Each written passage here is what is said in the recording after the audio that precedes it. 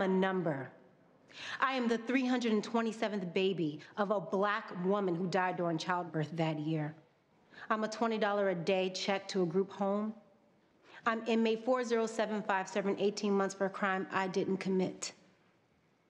But I can live with all those numbers because to mama who adopted me, I was her number one. But it turns out she's just one of a quarter million murders in this country who have not seen justice. And that is a number I can't live with. So you can have this damn suit back when her killer is dead.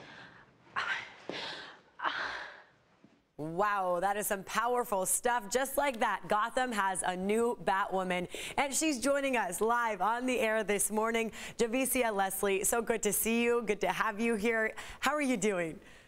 Thank you for having me. I am good. I am excited about Sunday. I'm excited for everyone to see the work we've done and uh, just our amazing show. So I'm super, super, super hyped.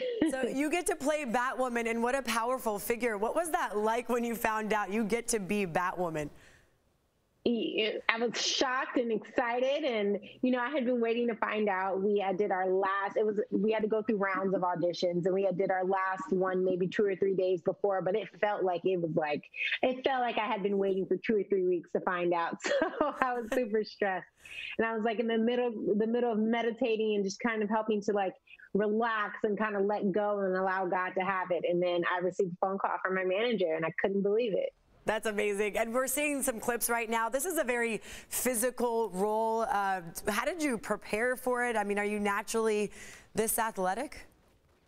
Luckily, I was already practicing um, Muay Thai before I booked the role. I, I started that about two years ago, um, and I just started the bow staff. So I already spoke a little bit of the, the the whole mixed martial arts language, as you can say. So when I started to collaborate with our stunt team, we were able to really create um, choreography that I was able to do so that I'm able to do most of my own stunts. That's awesome. So there's no one playing you in these images. It's actually you doing these flips and Definitely. Oh, whoa, whoa, whoa, First of all, I do have a stunt double because I can't do everything, okay. but I get to do a lot of my own stuff. That's awesome. Any new skills that you had to acquire on the set?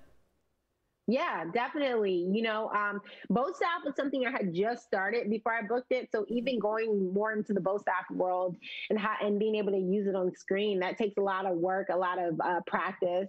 And then also, I've never been a super superhero before, so I had to work on my landing and getting that strong and confident and being able to shoot out of the scene and being at such high heights and feeling confident with that. So it's definitely been a learning journey as well. That's so neat. I mean, it's impressive that you're able to do all of this. And then you also have a lot in common with Ryan Wilder. Let's talk about that. Even when it comes down to a plant that she carries, what's that all about?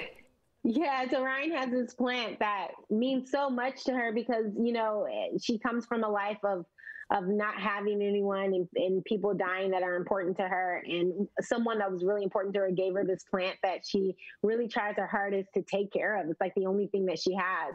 But I am just slightly obsessed with plants in general. I um, have been in Vancouver since August 7th and I've collected 32 plants.